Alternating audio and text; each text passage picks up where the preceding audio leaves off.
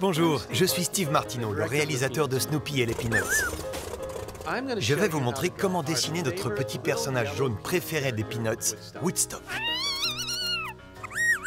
Le secret pour le dessiner, c'est de faire de longs traits continus. Je commence par la plume qui est sur sa tête, je dessine le bec en descendant, et n'oubliez pas une chose, c'est que Woodstock a une très grosse tête. Elle fait bien deux fois la taille de son corps. Soyez pas timide avec votre crayon, soyez audacieux comme Woodstock. Tout est dans les proportions. Sa tête et ses plumes constituent la moitié de Woodstock. Son corps, ses ailes et ses pattes, l'autre moitié. Ajoutez sa petite queue ici. Deux traits pour ses petits yeux vifs.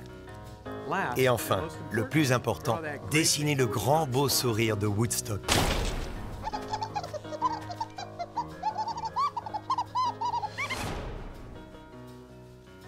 C'est comme ça qu'on dessine Woodstock. Et on adorerait découvrir vos dessins. Alors partagez-les avec le hashtag Dessine Woodstock. Comme ça, on pourra les regarder. Et si vous voulez voir toute la bande, guettez le film Snoopy et les Peanuts au cinéma.